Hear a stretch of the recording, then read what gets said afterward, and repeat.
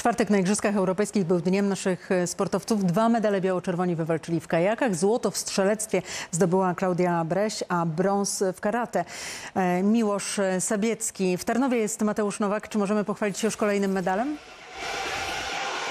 Oficjalnie jeszcze nie, bo finał dopiero za kilka minut, ale w tym finale Aleksandra Mirosław i Natalia Kałuska, więc kolejne dwa medale powędrują do Polski, a to oznacza, że pierwszy dzień finałów skończymy z sześcioma krążkami. Rozpoczynamy więc jak marzenie tak naprawdę, nikt się tego nie spodziewał, a przypomnę, że przed nami jeszcze 10 dni rywalizacji.